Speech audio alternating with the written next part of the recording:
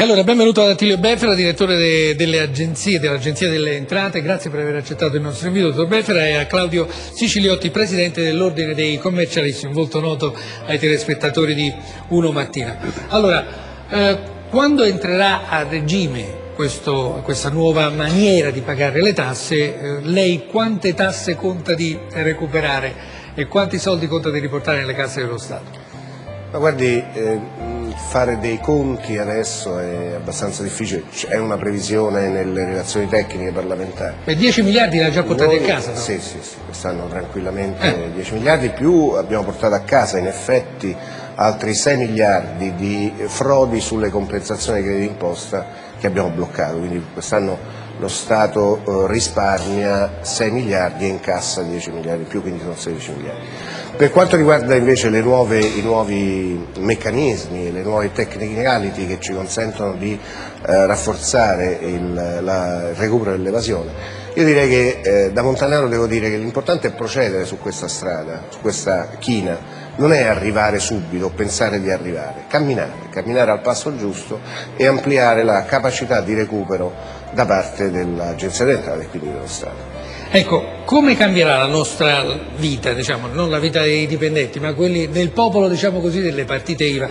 Noi abbiamo eh, oggi un eh, articolo che sulle eh, pagine interne, ma con un richiamo in prima pagina del Corriere della Sera, Fisco, Previdenza e Diritti, il manifesto delle partite IVA, 8 milioni di partite IVA nel nostro Paese, alcune vecchie di 30 anni, altre nuove. Chi ha la partita IVA è uno che affronta l'idea del lavoro autonomo, anche i rischi del lavoro autonomo. Una delle lamentele dei lavoratori autonomi è che pagano all'Inps il 26% di un'imposta per una pensione che probabilmente non vedranno mai, quindi non è una cosa che riguarda direttamente lei, ma come cambierà il regime di vita di un piccolo commerciante?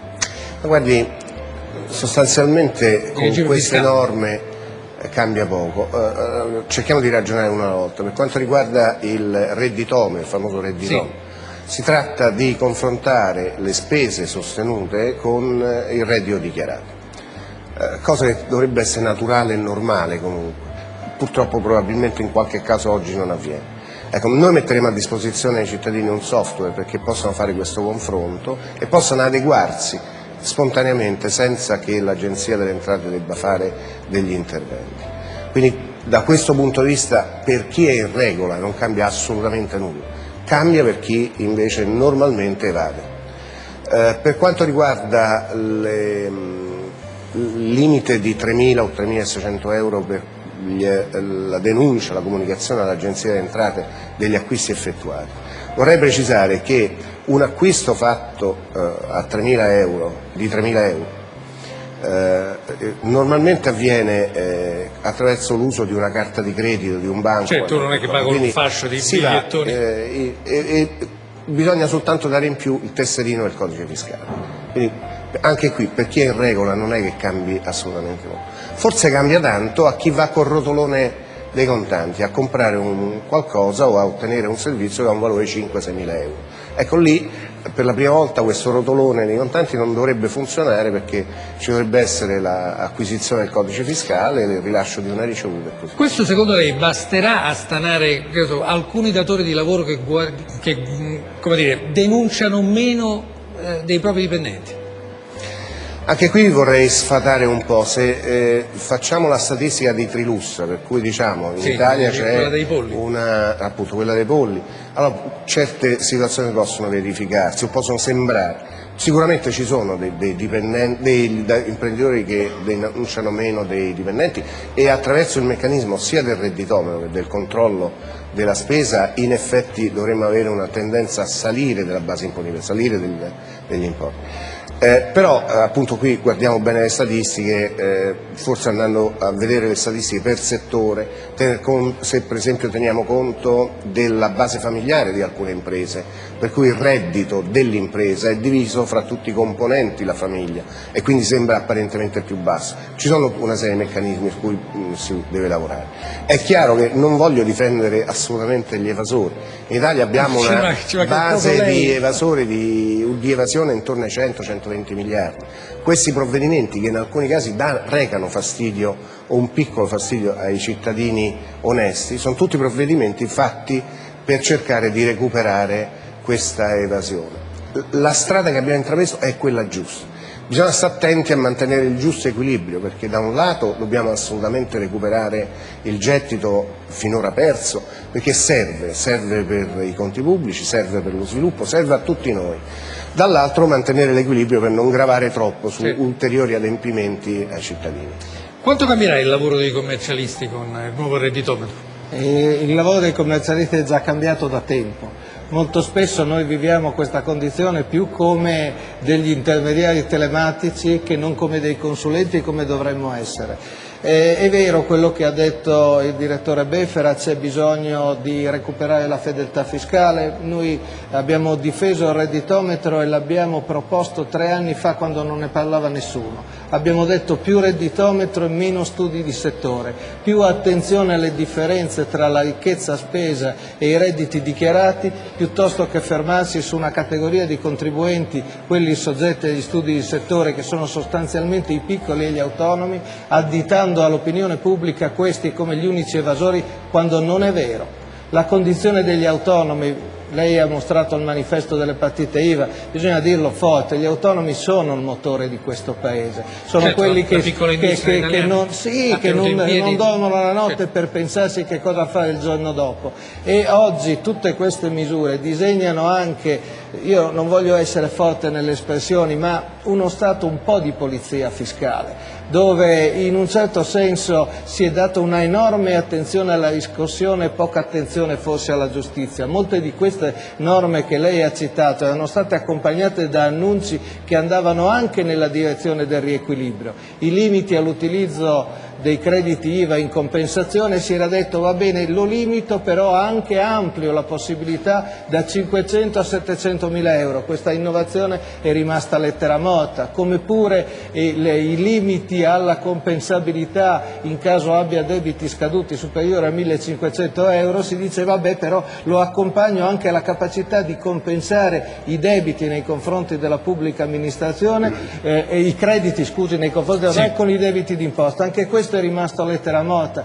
Chi lavora solo nei confronti della pubblica amministrazione, diciamocele queste cose, che ha un fatturato di 100 e paga tasse per 20, 30, 40, ma questi 100 non li vede perché la pubblica amministrazione non paga. Chi dà giustizia a queste persone? Oggi questa forte attenzione sulla riscossione è comprensibile, però dobbiamo dare anche qualcosa. Se un sistema fiscale si crea sulla fiducia, la fiducia si fa anche con gesti che premino i contribuenti onesti, se no gli autonomi diventano evasori per necessità, se gli si imputa di esserlo sempre. Certo, se però non si spezza il meccanismo per cui noi abbiamo una voragine eh, nei conti dello Stato dovuta anche al fatto che c'è molta gente che non paga le tasse eh, e ci sono i condoni che periodicamente arrivano e che lasciano sempre sperare all'evasore prima noi non abbiamo mai difeso il condono. Nel giorno in cui mi beccano. Questa è una categoria che non ha mai difeso i condoni e credo no, no, che no, i condoni uccidano che... la credibilità del sistema e quindi su questo sfonda porte aperte. Il problema è che noi dobbiamo ridurre la spesa questa è la, la, battaglia, non avremo mai le riduzioni di imposte che vengono in qualche modo rappresentate se non avremo prima una riduzione della spesa. E anche i recuperi di evasione, eh, abbiamo parlato di 10 miliardi ma ce ne sono oltre 100 L'Italia è il secondo paese al mondo dopo la Grecia per evasione fiscale, secondo paese al mondo. E altrettanto è anche forse il numero uno al mondo, è il terzo secondo le statistiche ufficiali, ma credo il numero uno per pressione fiscale, perché se togliamo alla nota frazione eh, l'economia sommersa... Ma non è che le due cose si tengono c'è, una forte pressione fiscale perché c'è una forte evasione fiscale e c'è una forte evasione fiscale perché c'è una forte pressione fiscale. Bene, è un sistema che dobbiamo spezzare, è l'equilibrio degli squilibri, cioè abbiamo da un lato i sussidiati della spesa pubblica, dall'altro i sussidiati dell'evasione fiscale. Oggi credo che la spesa pubblica debba naturalmente ridursi perché devono essere di meno le persone che svolgono le funzioni che sono loro affidate e chi, chi eh, produce redditi deve pagare le tasse fino all'ultima lira. Questo è il sistema che noi dobbiamo abbattere oggi. Lei è un tecnico, dottor Beffera, le chiedo quasi un'affermazione di tipo politico, eh, però so che lei se la cava eh, egregiamente. Come si fa a rompere questo meccanismo e a cambiare una mentalità che è tutta italiana, quella di fregare le tasse? È un problema, ho sempre culturale, culturale di, di, di generazione probabilmente Bisogna tener conto che in Italia eh, l'evasione è sempre stata elevatissima. Stavo leggendo adesso un documento della Banca Italia già con, eh, addirittura prima dell'unità, ma appena vengono, viene creata l'Italia, eh, l'evasione schizza subito su perché vengono fatte delle imposte eh, che specialmente nel sud Italia non vengono riconosciute, non vengono accettate. Quindi è un fatto culturale, ce l'abbiamo dal 1600. Eccetera. Ricordate sempre quel film di Benigni in cui eh, al passaggio della frontiera c'è quel ah, signore sì, che sì. dice quanti siete? Un fiorino, un, un fiorino ecco, e, e pagare quel fiorino già era un grosso problema. Quindi questo è il problema fondamentale. Allora quello che dice il Presidente eh, Siciliotti è verissimo, il problema è che poi bisogna passare dalla teoria ai fatti allora, io mi occupo di recupero dell'evasione e devo agire sul recupero dell'evasione. Non posso subordinare il recupero dell'evasione alla giustizia, anche se è giusto eh, parlare di questo. Non posso eh, subordinare la, il recupero dell'evasione al recupero della spesa inutile. Io devo fare questo mestiere e lo devo fare col massimo equilibrio possibile. È quello che stiamo tentando di fare. Ho dato istruzioni precise miei, a tutti i dipendenti dell'agenzia, che peraltro hanno una professionalità notevole, perché poi questi 10 miliardi qualcuno ha recuperati nei fatti. Ecco, eh, di essere attenti, di essere equilibrati, di, non, eh, di, essere trasparenti, di esercitare questo potere eh, che noi abbiamo, che è il potere impositivo, eh, di esercitarlo con la massima correttezza possibile. Quindi questa è una delle strade da intraprendere. È vero che bisogna intervenire sulla spesa, c'è chi lo sta facendo, ma non subordiniamo un evento ad un altro perché altrimenti non ne usciamo. Allora, facciamo, facciamo, un attimo il punto. Cosa accadrà nei prossimi mesi? Se qualcuno riceve una lettera di contestazione da parte dell'Agenzia delle Entrate, verrà convocato a dimostrare le proprie ragioni. Assolutamente sì. Dopodiché c'è però una, la possibilità di un nuovo incontro, di un doppio contraddittorio, così? Allora, per quanto riguarda il redditometro, dal momento in cui partirà sì. questo redditometro, o quello che noi chiamiamo accertamento sintetico, cioè l'accertamento di effettive spese sostenute effettivamente con il reddito dichiarato.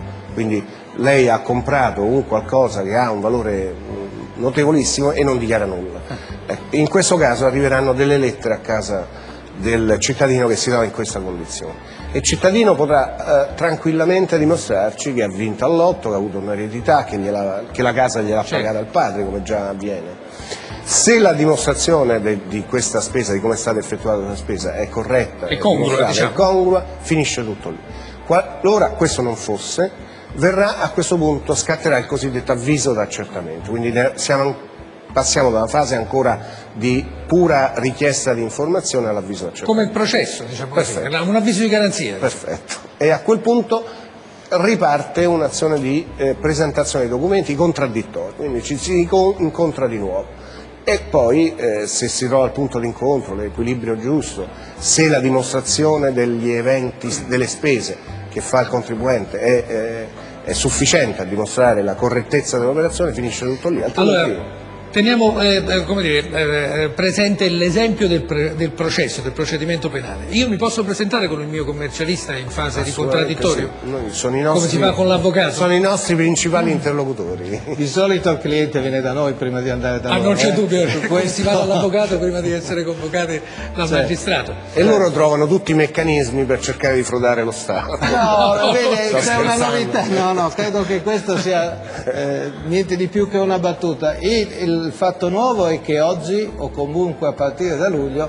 l'accertamento sarà un titolo esecutivo per riscuotere. Questo è un altro problema, un altro problema non perché astrattamente questo non sia giusto, ma perché spesso con la lentezza della giustizia eh, tributaria si rischia di, anche in caso di imposte non dovute, di doverle pagare prima di ottenere prima una di legittima una, sospensione. Eh, questo è un tema molto grosso che dobbiamo affrontare. Credo che il tema della giustizia tributaria sia un tema che deve entrare in agenda di quest'anno, perché altrimenti ci dimentichiamo di un problema. Ricorrere alla giustizia, una giustizia lenta e inefficiente come è oggi la giustizia tributaria è qualcosa che merita una soluzione diversa dalla situazione attuale. Quando è il prossimo step, per dirla all'inglese, il prossimo gradino, il prossimo appuntamento eh, in cui voi trarrete un po' le somme o, o diciamo così la seconda fase di questa di questa azione? Dunque, noi, tutte le norme che sono state introdotte quest'estate sostanzialmente sì. eh, partono nei, nei, prossimi giorni, quindi eh, faremo... E la prima verifica quando avverrà? La prima verifica la faremo eh, a sei mesi data per le, quelle che partiranno adesso. Quindi in primavera? Diciamo. Per, per eh, diciamo a giugno. Per quanto riguarda invece l'eliminazione della cartella di pagamento che parte il primo luglio, la verifica verrà fatta in dicembre. La invitiamo a giugno allora, magari a fare una prima verifica di come è andato il nuovo redditometro insieme, insieme a lei. Con piacere. Grazie, Grazie, per essere stati con noi, linea al TG1. Medina